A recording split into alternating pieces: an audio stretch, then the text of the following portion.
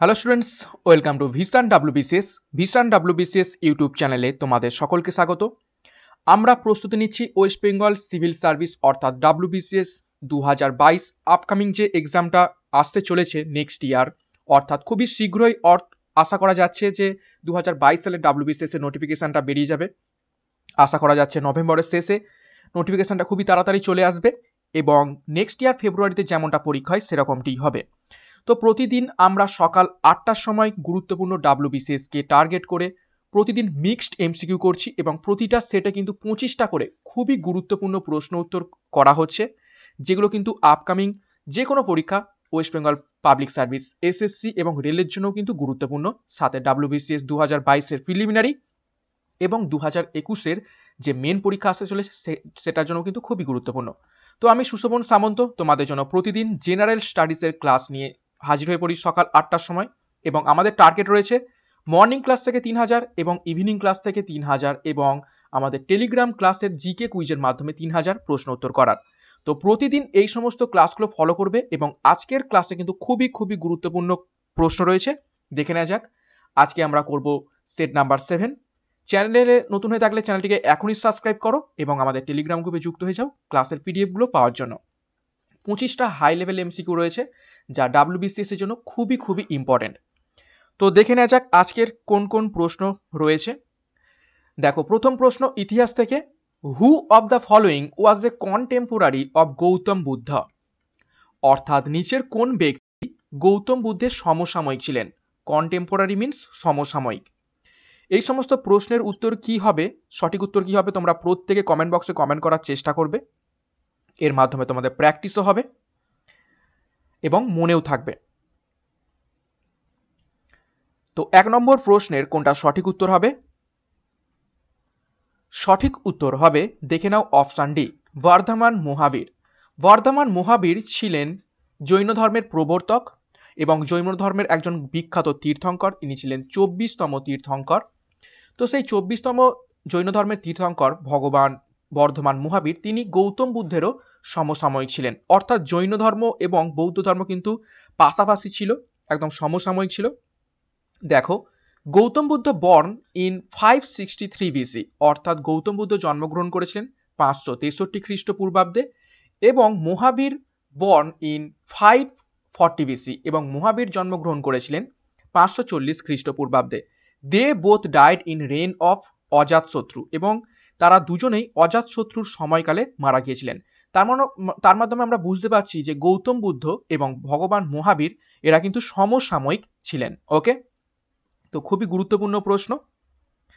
Next দেখো, আরও একটি ইতিহাসের মধ্য থেকে প্রশ্ন। আমরা প্রতিটা সেটে কিন্তু ইতিহাসের প্রশ্ন, একটু অন্যান্য প্রশ্ন থেকে তুলনামূলকভাবে বেশি করব। কেননা ইতিহাস থেকে পঞ্চাশ নাম্বার থাকে, যে আসল পরীক্ষাটা রয়েছে। তো দেখো which one of the following four Vedas contents and account of magical charms and spells অর্থাৎ আমাদের যে সনাতন যে বৈদিক সাহিত্য রয়েছে, সেই বৈদিক সাহিত্যের চারটে যে বেদ রয়েছে, সেই চারটে বেদের মধ্য থেকে কোন বেদে ম্যাজিক্যাল চার্মস অর্থাৎ জাদুকরী মন্ত্র ব্যাপারে বলা রয়েছে। প্রত্যেকে কমেন্ট বক্সে কমেন্ট করবে। এই প্রশ্নটা কিন্তু ডাব্লিউবিসিএস এর বিগত বছরে এসেছে। খুবই গুরুত্বপূর্ণ প্রশ্ন। চারটে বেদের মধ্য থেকে কোন বেদে জাদুকরী মন্ত্র লেখা রয়েছে। তো দু নম্বর প্রশ্নের সঠিক উত্তর হয়ে যাবে দেখো অপশান ডি অথর্ব বেদা। অথর্ব বেদে এই জাদুকরী মন্ত্রের ব্যাপারে লেখা রয়েছে এবং দেখো it also contents about medical science অর্থাৎ চিকিৎসা বিজ্ঞানের ব্যাপারেও কিন্তু এই অথর্ব বেদাতে বলা রয়েছে। খুবই গুরুত্বপূর্ণ প্রশ্ন এটি। তিন নম্বর প্রশ্ন দেখো who translated Ramayana into Persian অর্থাৎ রামায়ণকে সংস্কৃত ল্যাঙ্গুয়েজ থেকে নিচের কোন জন পার্সি ল্যাঙ্গুয়েজ অর্থাৎ পার্সিয়ান ল্যাঙ্গুয়েজে অনুবাদ করেছিলেন? ভিভিআই প্রশ্ন এটি। প্রত্যেকে সঠিক উত্তর কোনটা হবে কমেন্ট বক্সে কমেন্ট করো। ডাব্লিউবিসিএস মেন এবং প্রিলিমস দুটোর জন্যই খুবই ইম্পর্টেন্ট এবং অন্যান্য পরীক্ষা তো রয়েছে তো তিন নম্বর প্রশ্নের সঠিক উত্তর হয়ে যাবে দেখে নাও অপশান এ আবুল ফজি আবুল ফজির এই রামায়ণকে সংস্কৃত ল্যাঙ্গুয়েজ থেকে পার্সিয়ান ল্যাঙ্গুয়েজে ট্রান্সলেট করেছিলেন। একটু ডিটেলসে দেখব, দেখো। ইন ফিফটিন সেভেন্টি ফোর অর্থাৎ পনেরোশো চুয়াত্তর খ্রিস্টাব্দে আকবর স্টার্টেড এ মাকতাব খানা। আকবর একটি মাকতব খানা নামে একটি দরবার চালু করেছিলেন or a house of translation works in Fatehpur Sikri. Fatehpur সিগড়িতে একটা অনুবাদ অনুবাদ করার একটা ঘর তৈরি করেছিলেন, যেটা মাক, মাকতাব খানা নামে পরিচিত। He endorsed the work to a few official to make translations of the Sanskrit books Rajatarangini Ramayana and Mahabharata into Persian language এবং তিনি খুবই জোর দিয়েছিলেন, অর্থাৎ এই আকবর যোগ জোর দিয়েছিলেন কিছু বিখ্যাত সংস্কৃত বইগুলো, যেগুলো যেমন রাজতরঙ্গিনী, রামায়ণ এবং মহাভারতকে সংস্কৃত ভাষা থেকে পার্সিয়ান ল্যাঙ্গুয়েজে কনভার্ট করার জন্য বা অনুবাদ করার জন্য। এবং রামায়ণকে অনুবাদ করেছিলেন কে? আবুল ফজি। নেক্সট চার নম্বর প্রশ্ন দেখো। Which one of the following dynasties was ruling over north India at the time of Alexander's invasion খুবই গুরুত্বপূর্ণ প্রশ্ন। এটিও ভিভিআই প্রশ্ন। বহুবার ডাব্লিউবিসিএসআই এসেছে প্রশ্নটি। কমেন্ট বক্সে কমেন্ট করো। অর্থাৎ আলেকজান্ডার যখন ভারতবর্ষ আক্রমণ করেছিলেন, তখন উত্তর ভারতে নিচের কোন রাজবংশ রাজত্ব করছিলেন? তো চার নম্বর প্রশ্নের সঠিক উত্তর হয়ে যাবে দেখো অপশন এ, নন্দ। নন্দ বংশ রাজত্ব করছিল উত্তর ভারতে যখন আলেকজান্ডার অ্যাটাক করছে ভারতবর্ষ। দেখো ডিউরিং ধনানন্দ, অর্থাৎ ধননন্দের সময় Alexander attacked India in three twenty seven BC তিনশো সাতাশ খ্রিস্টপূর্বাব্দে আলেকজান্ডার ভারতবর্ষ আক্রমণ করে ধননন্দের সময়। And battle of Hydaspes fought between Puru and Alexander on the bank of Jhelum in three twenty six BC এবং তিনশো ছাব্বিশ খ্রিস্টপূর্বাব্দে ঝিলাম নদীর তীরে রাজা পুরুষ সাথে আলেকজান্ডারের যুদ্ধ হয় এবং যুদ্ধের নাম কি ছিল? হিদিসপাসের যুদ্ধ। খুবই গুরুত্বপূর্ণ প্রশ্ন এটি। নেক্সট দেখো পাঁচ নম্বর প্রশ্ন। Which party was founded by Subhas Chandra Bose in the year of nineteen thirty nine after he broke away the Congress এই প্রশ্নটাই ডাব্লিউবিসিএস দু হাজার কুড়িতে এসেছিল। প্রত্যেকে কমেন্ট বক্সে কমেন্ট করবে প্রিলিমসে which party was founded by Subhas Chandra নিচের কোন পার্টিটা সুভাষচন্দ্র বসু তৈরি করেছিলেন? In the year of nineteen thirty nine উনিশশো উনচল্লিশ খ্রিস্টাব্দে after he broke away Congress Congress থেকে তিনি বেরিয়ে এসে। তো পাঁচ নম্বর প্রশ্নের সঠিক উত্তর হয়ে যাবে দেখো option D Forward Bloc Forward Bloc তিনি গঠন করেছিলেন। ছ নম্বর প্রশ্ন দেখো a copper chariot of Harappan times was discovered at অর্থাৎ হরপ্পা সভ্যতার যে সমস্ত সাইটগুলো ছিল, সেই সমস্ত সাইটগুলোর মধ্য থেকে কোন সাইটে হরপ্পার সময়কালের একটা কপার চ্যারিয়েট, অর্থাৎ তামার রথ, আবিষ্কৃত হয়েছিল। প্রত্যেকে কমেন্ট বক্সে কমেন্ট করো। ভিভিআই প্রশ্ন এটি এনসিয়েন্ট হিস্ট্রির ওপর থেকে ইন্ডাস ভ্যালি সিভিলাইজেশন থেকে। নিচের কোন সাইট থেকে কপার চ্যারিয়েট আবিষ্কৃত হয়েছে? তো ছ নম্বর প্রশ্নের সঠিক উত্তর হয়ে যাবে, দেখে নাও অপশান সি দাইমাবাদ। দাইমাবাদ সাইটটা থেকে একটি কপার চ্যারিয়েট আবিষ্কৃত হয়েছে। সাত নম্বর প্রশ্ন দেখো। Gandhara school of art came into existence in? VVI প্রশ্ন। গান্ধারা স্কুল অফ আর্ট এটি নিচের কোন ধর্মের সাথে যুক্ত এবং কা, কোন ধর্মের সাথে রিলেটেড এই স্কুল অফ আর্টটা গঠিত হয়েছিল? প্রত্যেকে কমেন্ট বক্সে কমেন্ট করো কোনটা সঠিক উত্তর হবে।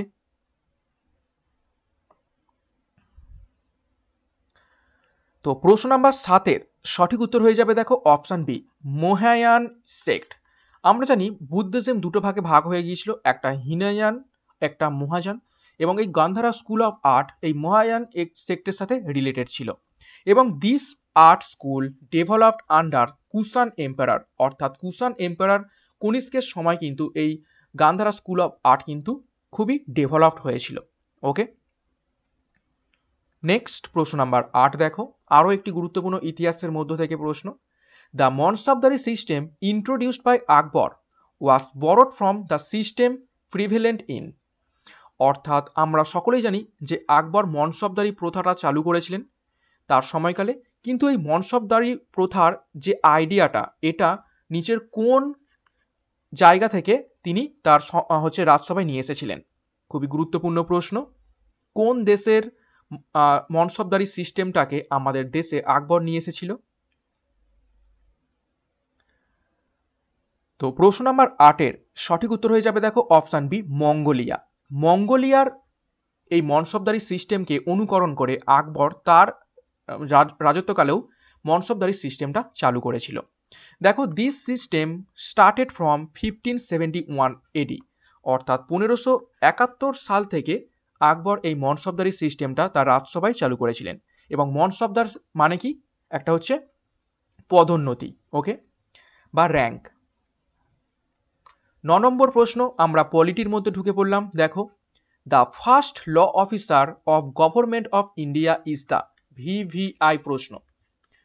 খুবই গুরুত্বপূর্ণ প্রশ্ন পলিটির মধ্য থেকে। প্রত্যেকে কমেন্ট বক্সে কমেন্ট করবে কোনটা সঠিক উত্তর হবে।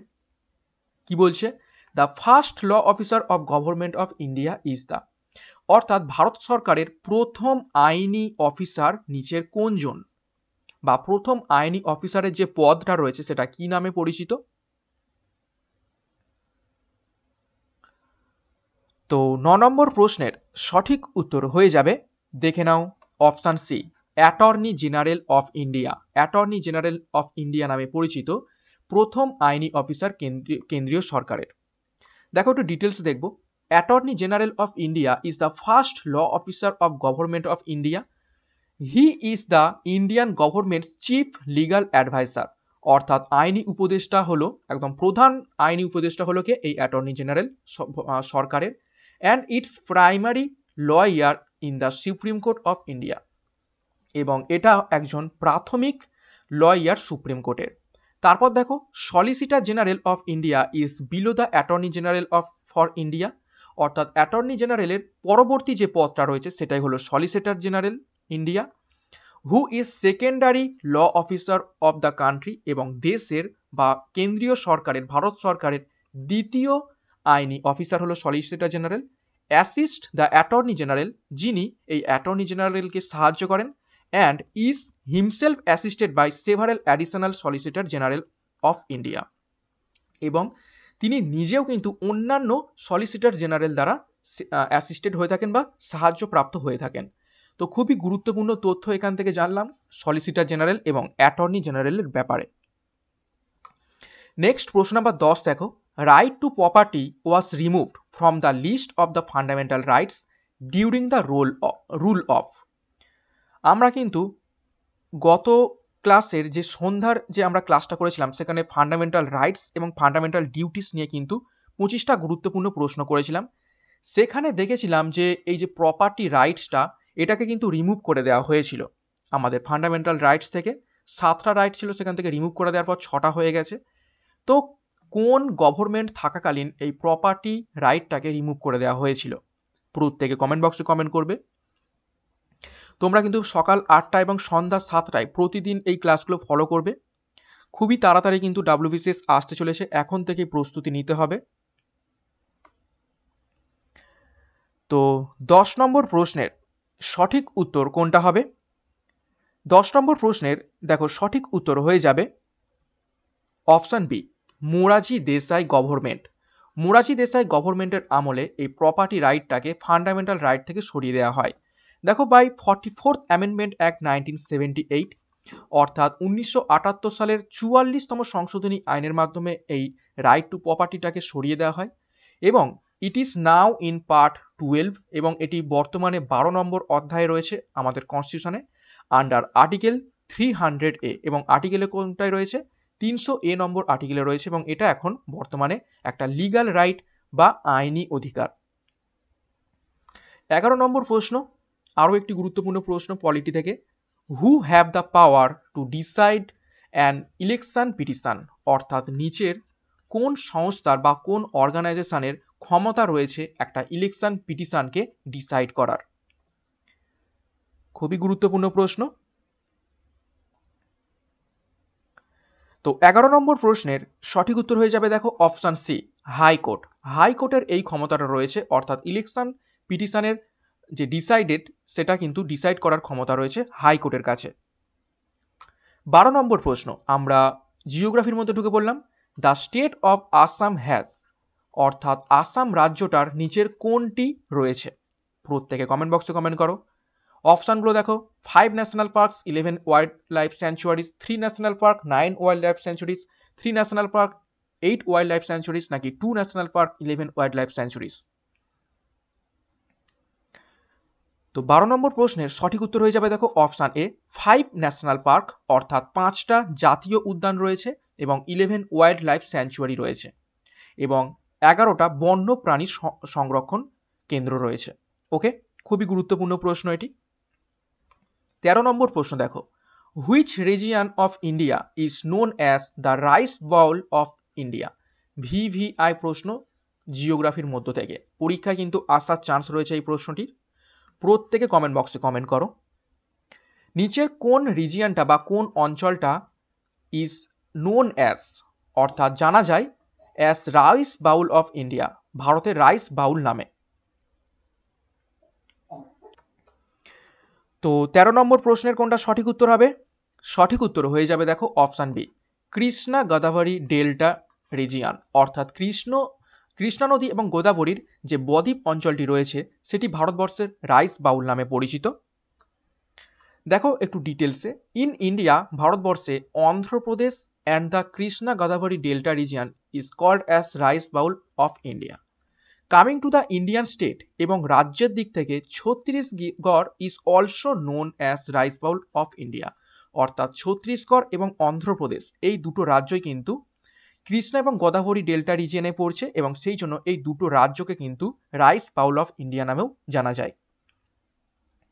নেক্সট চোদ্দ নম্বর প্রশ্ন, Duncan passage is situated between VVI প্রশ্ন, জিওগ্রাফির মধ্য থেকে বহুবার বহু পরীক্ষা এসেছে এবং ডাব্লিউবিসিএসেরও এটা বিগত বছরের প্রিলিমসের প্রশ্ন এবং মেনেও কিন্তু এক দুবার এসেছে। প্রত্যেকে কমেন্ট বক্সে কমেন্ট করো।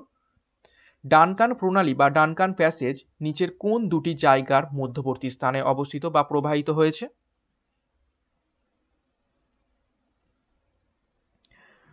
তো চোদ্দ নম্বর প্রশ্নের সঠিক উত্তর হয়ে যাবে, দেখে নাও। অপশন ডি, সাউথ আন্দামান এবং লিটিল আন্দামান, অর্থাৎ দক্ষিণ আন্দামান এবং ক্ষুদ্র আন্দামানের মধ্য দিয়ে ডানকান প্যাসেজ প্রবাহিত হয়েছে।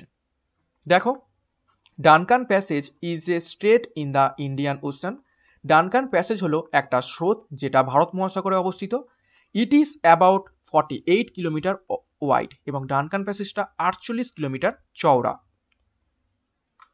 পনেরো নম্বর প্রশ্ন, আমরা ইকোনমিক্সের মধ্যে ঢুকে বললাম the main source of national income in India is অর্থাৎ ভারতের জাতীয় আয়ের প্রধান উৎস নিচের কোন সেক্টরটি ভিভিআই প্রশ্ন এটা ইকোনমিক্সের মধ্য থেকে। পরীক্ষায় কিন্তু আসার চান্স রয়েছে এই প্রশ্নটারই। প্রত্যেকে কমেন্ট বক্সে কমেন্ট করো।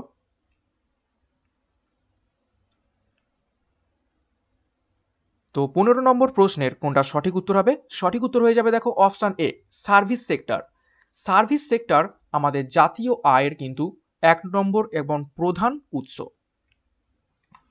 ষোলো নম্বর প্রশ্ন দেখো the standard of living in a country is represented by its অর্থাৎ একটা দেশের স্ট্যান্ডার্ড অফ লিভিং অর্থাৎ জীবনযাপনের মাত্রাটা নির্ভর করে নিচের কোনটার ওপর। এটাও কিন্তু ভিভিআই প্রশ্ন ইকোনমিক্সের মধ্য থেকে। প্রতিটা সেট তোমরা ফলো করবে। ইকোনমিক্সে যে যে যে প্রশ্ন এখান থেকে করানো হবে, আশা করছি সেইখান থেকে কিন্তু এইটি পার্সেন্ট প্রশ্ন কিন্তু তোমরা কমন পাবে পরীক্ষাতে। তো ষোলো নম্বর প্রশ্নের কোনটা সঠিক উত্তর হবে? তো সঠিক উত্তর হয়ে যাবে দেখো option B per capita income অর্থাৎ মাথা পিছু আয় প্রতিটা জনগণের একটা দেশের কত, সেটার ওপর যদি আমরা লক্ষ্য করি, তার মাধ্যমে আমরা বুঝতে পারব যে সেই দেশের জীবন ধারণের মাত্রাটা কি ধরনের রয়েছে। ওকে সতেরো নম্বর প্রশ্ন, খুবই গুরুত্বপূর্ণ প্রশ্ন ইকোনমিক্সের মধ্য থেকে। During which decade did the population of India record a negative growth rate আমরা দেখে থাকি প্রতি দশ বছর ছাড়া যে জনগণনা হয় পপুলেশন কাউন্টিং হয় বা আদমশুমারি হয়ে থাকে বা সেন্সাস হয়ে থাকে যা ল্যাঙ্গুয়েজেই বলি না কেন, সেখানে দেখে থাকি প্রতি দশ বছর ছাড়া কিন্তু জনসংখ্যা আমাদের দেশে কিন্তু লাফিয়ে লাফিয়ে বাড়ে। কিন্তু নিচের কোন সময় বা কোন ইয়ারে জনসংখ্যা বাড়ার পরিবর্তে উল্টে কমে গিয়েছিল? প্রত্যেকে কমেন্ট বক্সে কমেন্ট করো, কোন দশকে এই ঘটনাটি ঘটেছিল? প্রত্যেকে কমেন্ট বক্সে কমেন্ট করবে। খুবই গুরুত্বপূর্ণ প্রশ্ন এটি। তো সতেরো নম্বর প্রশ্নের সঠিক উত্তর হয়ে যাবে দেখো অপশান এ, উনিশশো এগারো থেকে উনিশশো একুশ। এই দশকে কিন্তু জনসংখ্যা বৃদ্ধি পাওয়ার পরিবর্তে উল্টে কমে গিয়েছিল। কেন কমে গিয়েছিল? এর পিছনে কিছু কারণ ছিল। এক নম্বর, first world war. First world war one, যেটা উনিশশো আঠেরো সালে হয়েছিল। এবং এর পরে কিন্তু ভারতে দুর্ভিক্ষও দেখা দিয়েছিল, যার পরে কিন্তু মহামারী দুর্ভিক্ষের জন্য প্রচুর মানুষ মারা গিয়েছিল, ওকে? নেক্সট প্রশ্ন নাম্বার আঠারো potassium permanganate is used for purifying drinking water because খুবই গুরুত্বপূর্ণ প্রশ্ন, আমরা সায়েন্সের মধ্যে ঢুকে পড়লাম, প্রত্যেকে কমেন্ট বক্সে কমেন্ট করবে। পটাশিয়াম পারম্যাঙ্গানেটটাকে আমরা পানীয় জলটাকে পরিশ্রুত করার জন্য ব্যবহার করে থাকি, কারণ নিচের কোনটি করে থাকে পটাশিয়াম পারম্যাঙ্গানেট আঠারো নম্বর প্রশ্নের সঠিক উত্তর হবে option D it is an oxidising agent এটা হলো একটা গুরুত্বপূর্ণ অক্সিডাইজিং এজেন্ট এবং অক্সিডাইজিং এজেন্টের মাধ্যমে সে কিন্তু এটাকে কি করে দেয়? পিউরিফাই করে দেয় ওয়াটারকে উনিশ নম্বর প্রশ্ন the gases used in different types of welding would include অর্থাৎ নিচের কোন দুটি গ্যাসকে আমরা ওয়েল্ডিং অর্থাৎ ঝালাইয়ের কাজে ব্যবহার করে থাকি? ভিভিআই প্রশ্ন। প্রত্যেকে কমেন্ট বক্সে কমেন্ট করবে। তো উনিশ নম্বর প্রশ্নের সঠিক উত্তর হয়ে যাবে দেখো option B oxygen and acetylene এই দুটো যুক্ত হয়ে তৈরি করে অক্সি অ্যাসিটিলিন ফ্লেম যার তাপমাত্রা তিন হাজার ডিগ্রি সেন্টিগ্রেড ওকে এই অক্সি অ্যাসিটিলিন ফ্লেম অক্সিজেন এবং অ্যাসিটিলিন গ্যাসের মিশ্রণে হয়ে থাকে। এবং এটা কিন্তু ঝালাইয়ের কাজে ব্যবহার করা হয়ে থাকে। কুড়ি নম্বর প্রশ্ন দেখো। The radioactive element most commonly detect in humans এটিও ভিভিআই প্রশ্ন। এটা কিন্তু ডাব্লিউবিসিএস মেনের প্রশ্ন, বিগত বছরের প্রত্যেকে কমেন্ট বক্সে কমেন্ট করো। অর্থাৎ নিচের কোন তেজস্ক্রিয় মৌলটা আমাদের শরীরের মধ্যেই পাওয়া যায় এবং সাধারণভাবেই পাওয়া যায় কমনলি ডিটেক্ট করা যায়। তো কুড়ি নম্বর প্রশ্নের সঠিক উত্তর হয়ে যাবে, দেখো option A potassium forty potassium forty এই আইসোটপটা আমাদের শরীরে তেজস্ক্রিয় মৌল হিসাবে পাওয়া যায়। টোয়েন্টি ওয়ান দেখো lichens or lichens are the best indicator of অর্থাৎ আমরা যদি কোনো জায়গায় লিচেন্স বা লাইচেন্স বেশি পরিমাণে দেখতে পেয়ে থাকি, তাহলে আমাদের বুঝে নিতে হবে বুঝে নিতে হবে সেই জায়গায় নিচের কোন দূষণটি প্রচুর পরিমাণে হয়েছে। তো প্রশ্ন নাম্বার টোয়েন্টি ওয়ান সঠিক উত্তর হয়ে যাবে option A air pollution lichen যদি খুব বেশি পরিমাণে বেড়ে যায়, তাহলে আমাদের বুঝতে নিতে হবে ওই স্থানে কিন্তু প্রচুর পরিমাণে বায়ু দূষণ বা এয়ার পলিউশন হয়েছে। সেই জন্য লিচেনকে বলা হয়ে থাকে biological indicator okay biological indicator twenty two দেখো the uranium fuel used world wide is mainly in form of অর্থাৎ নিচের কোন ইউরেনিয়াম জ্বালানিটিকে গোটা বিশ্বব্যাপী প্রচুর পরিমাণে ব্যবহৃত করা হয় এবং প্রধানত এই জ্বালানিটিকে বেশিরভাগ ব্যবহার করা হয়ে থাকে নিচের কোন ইউরেনিয়াম ফুয়েলটাকে? প্রত্যেকে কমেন্ট বক্সে কমেন্ট করো।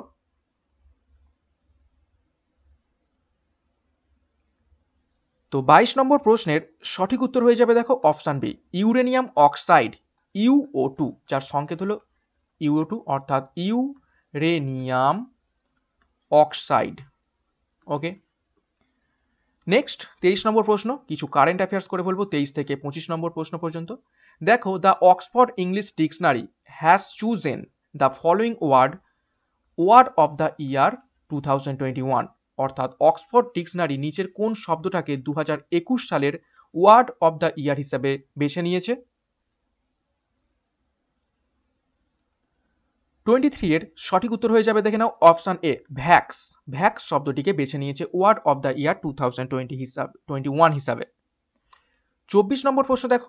The following organisation has been honoured with Indian green energy award two thousand twenty অর্থাৎ নিচের কোন অর্গানাইজেশন বা সংস্থাকে ইন্ডিয়ান গ্রিন এনার্জি অ্যাওয়ার্ড দু হাজার কুড়ি এই অ্যাওয়ার্ডে সম্মানিত করা হয়েছে? প্রত্যেকে কমেন্ট বক্সে কমেন্ট করো। ভিভিআই প্রশ্ন কারেন্ট অ্যাফেয়ার্সের মধ্য থেকে।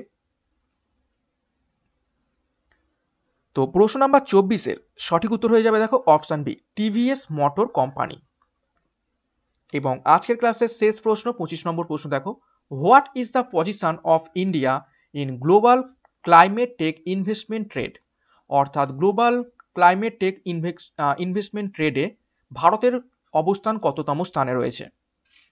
কমেন্ট বক্সে কমেন্ট করো। এটিও কিন্তু গুরুত্বপূর্ণ প্রশ্ন, পরীক্ষায় আসার চান্স রয়েছে।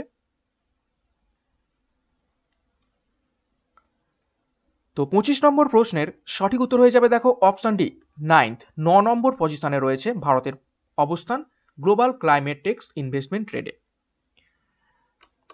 তো আজকের ক্লাসের মাধ্যমে আমরা গুরুত্বপূর্ণ পঁচিশটা প্রশ্ন উত্তর করলাম, সাথে কিন্তু অনেক আনুষঙ্গিক প্রশ্ন উত্তরও করলাম। তোমরা কিন্তু প্রতিদিন এই ক্লাসগুলো সকাল আটটার সময় ফলো করবে।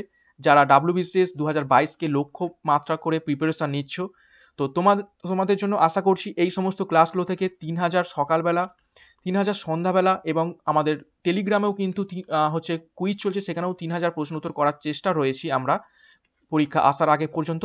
আশা করছি এই সমস্ত ক্লাসের মধ্য থেকে তোমরা সেভেন্টি থেকে এইটটি পার্সেন্ট প্রশ্ন কিন্তু কমন পেয়ে যাবে। ওকে সেই রকম স্ট্যান্ডার্ড লেভেলের প্রশ্ন নিয়ে আসা হচ্ছে। চ্যানেলে নতুন হয়ে থাকলে চ্যানেলটিকে এখনই সাবস্ক্রাইব করো, পাশের বেল আইকনটি প্রেস করো। এবং ক্লাসগুলো কেমন লাগছে অবশ্যই অবশ্যই লাইক এবং কমেন্ট করো।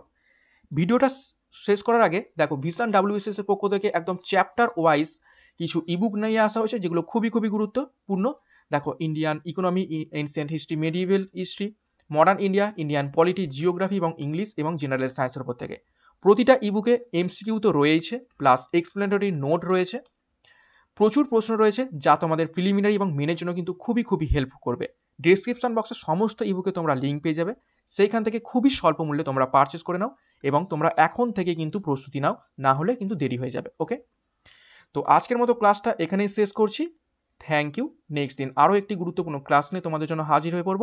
ততক্ষণের জন্য বাই